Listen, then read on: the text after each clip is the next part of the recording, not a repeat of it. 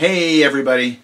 Uh, I keep on getting questions about the coronavirus, so let's talk about the coronavirus. I've been having lots of patients and students ask me, what do I do about the coronavirus epidemic that the media is currently blowing way out of proportion in the United States?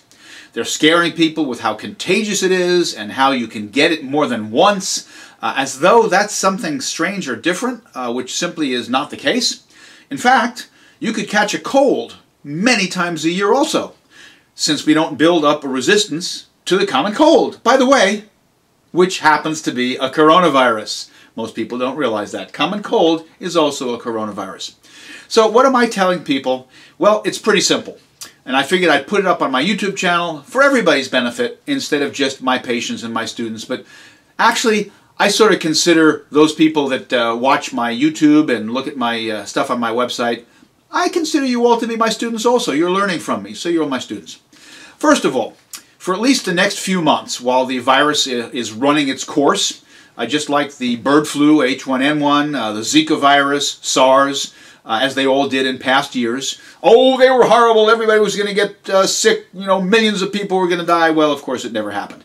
Uh, maybe in third world countries, um, maybe in countries where uh, people were um, not able to get good medical care, where a larger number of people were. Um, uh, less educated had uh, less access to uh, uh good medical uh, advice, or actually our medical advice isn't so good, let's say good medical care, or just where you have a lot of people that just aren't as healthy.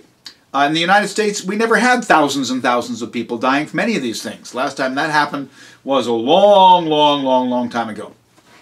So, you should work to keep your immune system working really well by avoiding foods which depress immune function.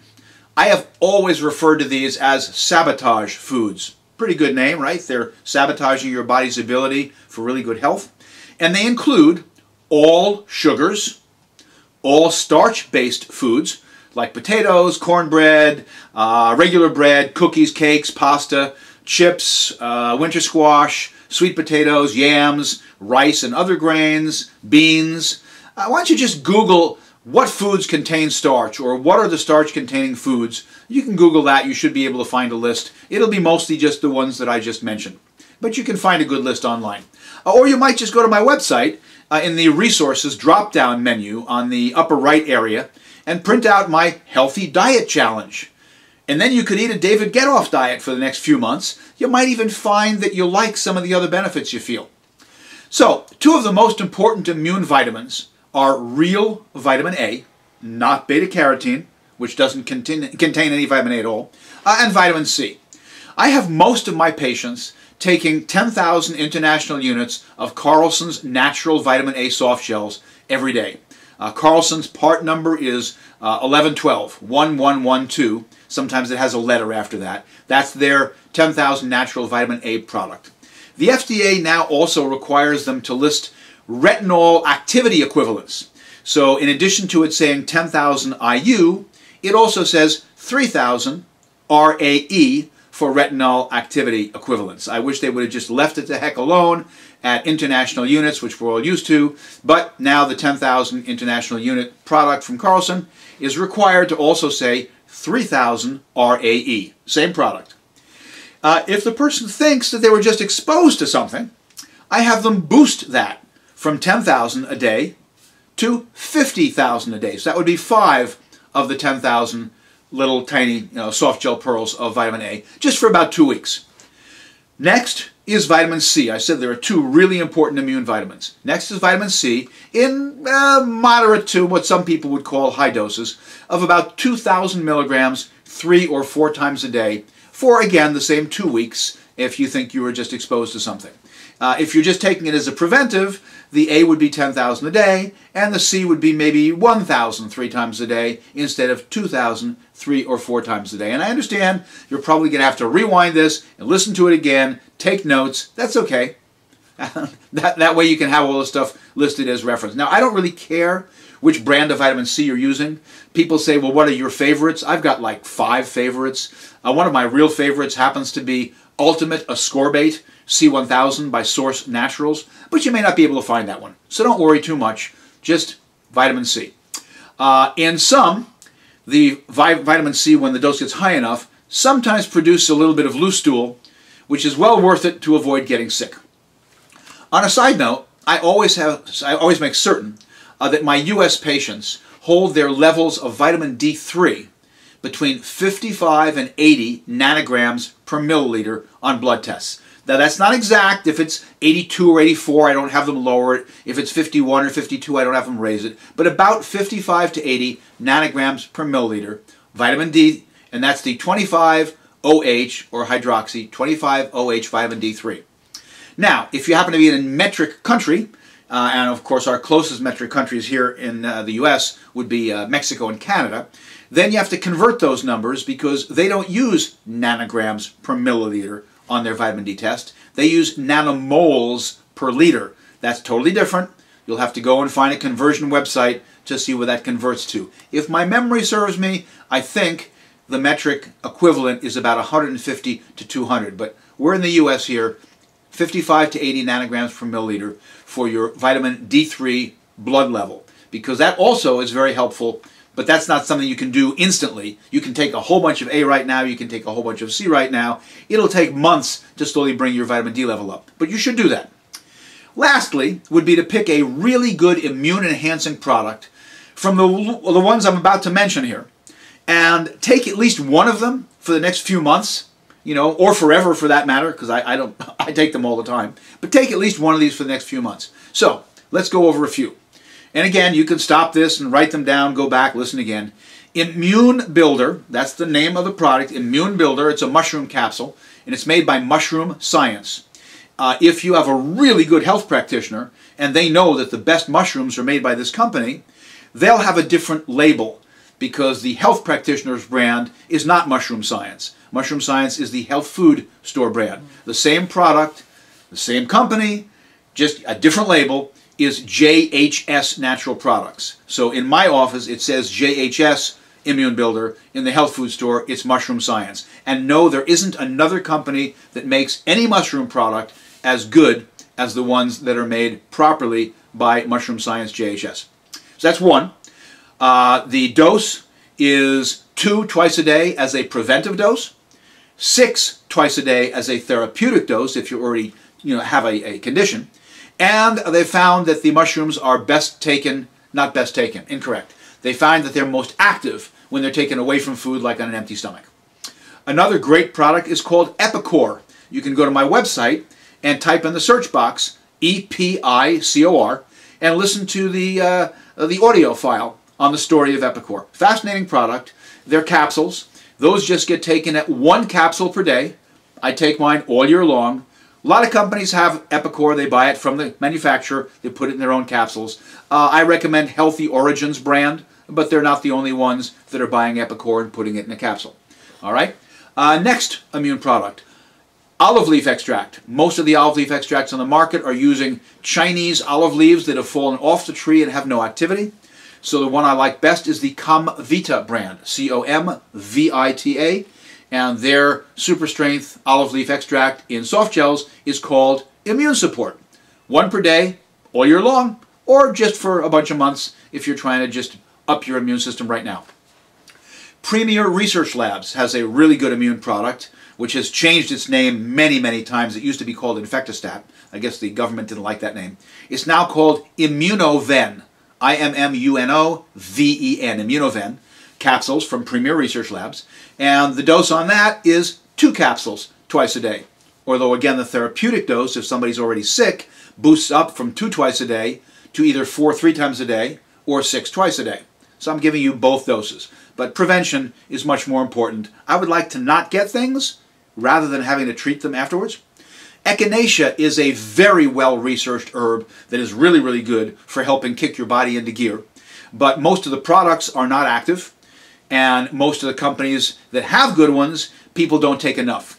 So Echinacea, Echinacea Liquid Tincture, the two companies that I know are really good, are Herb Pharm, and Farm is spelled P-H-A-R-M. That's a health food store brand. You can all find it. Liquid Tincture by Herb Pharm and the other really good echinacea is made by Herbalist and Alchemist. The dose for a good liquid tincture of echinacea if you already think you're coming down with something, is a measuring teaspoonful mixed in a glass of water and do that four times a day. If you're taking it as a preventive, then you could take half of that. You could take it either twice a day or take a half a measuring teaspoon four times a day. I am not recommending any other brands of echinacea tincture as I find them to be so inactive they may not work. Another great immune product, remember I'm just saying pick one of these and take it. You can take more than one is colostrum LD. The LD happens to stand for liposomal delivery, but the product is called colostrum LD powder made by Sovereign Laboratories in Arizona. And the dose on that is two measuring teaspoons twice a day, mixed in a little bit of water. On an empty stomach, it's much more active. Uh, there's a product you can get in almost every health food store. It's made by Source Naturals, and it's called Wellness Formula. Very good formula, been out for a long time. They even have the proper dosing on their labels. Very few companies do. That's why I'm giving you doses. Wellness Formula has the right dose on their labels by Source Naturals. So if you pick that up in the health food store, take it according to the label. And I might possibly add a fascinating product, a cer certain type of elderberry extract called Sambucol. S-A-M-B-U-C-O-L. It's a certain brand of uh, elderberry extract, preferably the sugar-free stevia-sweetened syrup uh, or the sugar-free lozenges. At their recommended dose, they finally put the right dose on the label, which for the liquid is two measuring teaspoons four times a day if you think you're getting either the coronavirus or any form of the flu. Sambucol works very, very differently. It is not an immune stimulant. Uh, it, and it doesn't kick your immune system in gear in any way. What it does is it takes up the receptor sites on healthy cells to help prevent the virus from coming out of other cells that it's duplicating in and getting in, into your healthy cells. So you could take that with any of them. If you or any friends of yours use essential oils, uh, you might have a good essential oil diffuser in your house. You could use a mixture of some of the oils that are very antiviral, antifungal, antibacterial. Uh, one of the mixes that's been known for a long time is the mixture of essential oils called thieves, just like somebody that's a thief, thieves oil that can be mixed into your uh, diffuser and used around the house as a, as sort of an anti-infective to prevent things from transferring from one person to another. I do not recommend using any form of chlorine bleaches or ammonias in your house to clean things because the fumes from these are toxic and will reduce your immune function and can damage your lungs. I hope this has been helpful and I hope none of you get sick and when you do, I hope, like my patients, you get over it very quickly. Oops, I almost forgot. Um, I found a very nice, accurate, short video uh, by a medical doctor. Say hello, Tamka. It's my ninth generation raw meat girl. Uh, and I'm splicing that in right after this so you can watch what the MD has to say, because I think he did a pretty good job. Almost forgot to say that. So we need to get the facts straight. How does this virus work? How does it transmit? Where does it want to go? And let's protect ourselves. I'm Dr. Peter Lin. I'm a family physician in Toronto, Canada. The coronavirus is a family of viruses that can cause as mild things as just a common cold all the way up to SARS or MERS. These are these bad pneumonias that we're talking about. And basically what these viruses are, they look like a tennis ball with all these spikes sticking out of it. And depending on the type of spike, it allows that virus to attach to certain places. So some viruses, they have the spike that attaches to your nose. So basically you just get a common cold. But the SARS virus and this new virus that we're talking about has the spike that allows it to attach to the cells in your lung. And when it attaches there, it puts in information to make photocopies of itself. So it uses our equipment to make more viruses. I'm declaring a public health emergency of international concern over the global outbreak of novel coronavirus. Most of the coronaviruses live in animals. In this particular case, it was from Wuhan. There was a fish market where they were selling live animals. And the thought is, is that the virus was in a live animal, then it crossed into a human. But then what we found was that people were getting sick in terms of healthcare workers, in terms of family members that were looking after them, which now meant that the virus can pass from human to another human. Just like all viruses, it needs to reach a target, which is your lung. And it has to get there with your help. It has no feet and no wings. So therefore it needs us to move it there. So that's why we keep saying don't hang around sneezy people because you're going to breathe it in and don't touch your face because that's how the virus is going to get in. The masks are helpful, but they're not necessary because they're leaky. The ones that you and I buy basically have pockets here, so therefore the virus can get in. What the masks really do is they stop us from touching our face. If you're sick, we tend to mask you, so therefore you're not spewing out the viruses to other people sitting around you. The true people that have the real masks are the N95. Those are sealed. These are for the doctors that may be caring uh, for their patients. So in the beginning, the coronavirus will cause kind of like flu-like symptoms or a cold. So people just get the stuffy nose, that kind of thing. But you'll understand that as soon as that virus starts manufacturing in your lung cells, they're producing all these copies of the virus, all of a sudden now you kill the lung cells. So now you can't exchange oxygen. And that's why one of the early symptoms is people get very short of breath and they tend to have a difficult time breathing, and that's why they end up in hospital. So currently, unfortunately, we don't have a direct treatment for the coronavirus. So we don't have a medication that can kill it off. And so it's really supportive. So in other words, the patient can't breathe, we give them oxygen, help them to breathe. They can't drink, so therefore we give them fluids to support them. Their kidneys begin to shut down, we help them with all those things. So it's a very supportive process. This is a new virus that we've never seen before. So our immune system, our army, are having a hard time figuring out what to do. So usually what we have to do is we make something called antibodies.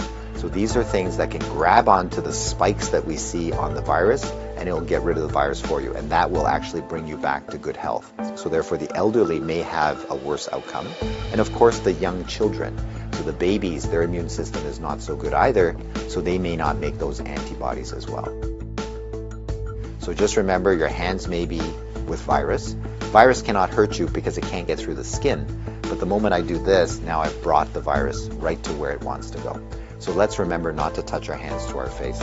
So let's say you think that you might have been on a plane or you might have bumped into somebody that has it. What should you do? So the first thing is to contact a healthcare worker to tell them that potentially you have it. If you're feeling symptoms and you're going to go into a facility, call ahead. Okay, so whether you're calling the paramedics or whether you're calling the hospital or your doctor, just mention that you were on a flight. If you don't have any symptoms, then what we do is a little bit of a self quarantine. In other words, we can just keep you away from other people, and so you don't go into parties, don't go with your friends, don't go into public transportation. So we can contain it very easily by making sure that you do a self confinement, so to speak, uh, for the, let's say, 7 to 14 days is the longest incubation time. So after that, if you're feeling well, then you don't have anything to worry about. If we get the facts right, then we don't have to be overly worried but we do the right things so that we don't get the virus ourselves and that we don't pass it on to others. And if we look after each other in this way, this virus will have nowhere to go. It needs us to move it, it needs us to make copies for it, and if we don't help it, then the virus will stop. So we have the power to do that right now.